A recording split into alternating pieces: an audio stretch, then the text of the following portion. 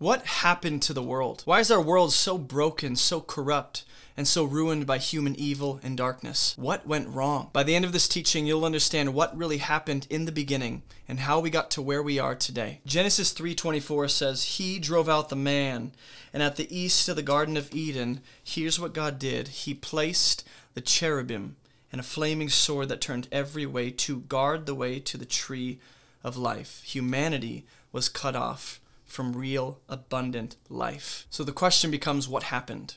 Well, Genesis 3 tells us mankind rebelled against God. Humanity was exiled from the life giving presence of God. We know that God made all things good.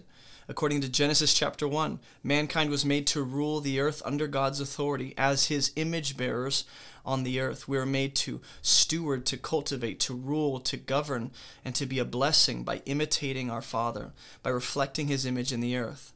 But what we see happen in the story of Genesis is that mankind sins, mankind rebels, mankind decides to do their own thing and go against God by listening to the voice of the enemy and partnering with the serpent in his rebellion against God.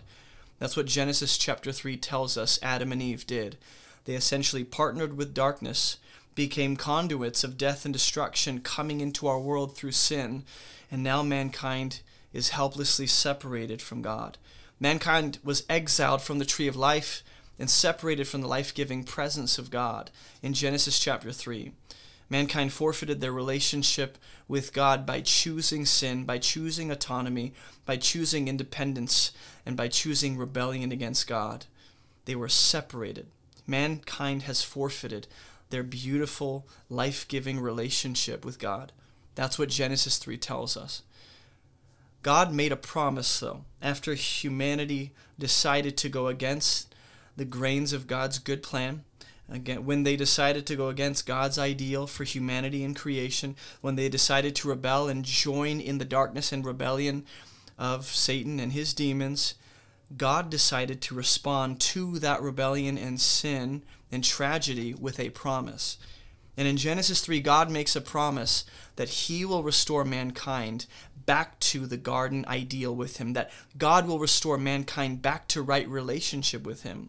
And He intends to do that by sending this one who would be born of woman, who will end up crushing the darkness for us, who will deal with our sin and our death and our destruction and our depravity and rebellion. He'll deal with that for us. This is why Jesus is referred to as the snake crusher because he is promised to crush the head of the serpent. This is what Genesis 3:14 says. This is what 1 Peter 3:18 says. So even though mankind rebelled and was exiled and cut off from the tree of life which symbolically represents life-giving relationship with God, God has a plan. This is what happened.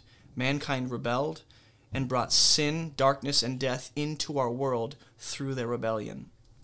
If you want the scriptures and the notes for this session's teaching, um, you can find those in the full free course for new believers on our website under Session 3 What Happened to Humanity. Make sure you review the scriptures and the notes before the next session, and please do share this with anyone who might benefit from this Spiritual Foundations course. And be sure to visit AboveReproachMinistry.com for everything about this online ministry. And I'll see you in the next video where we answer the question What is sin?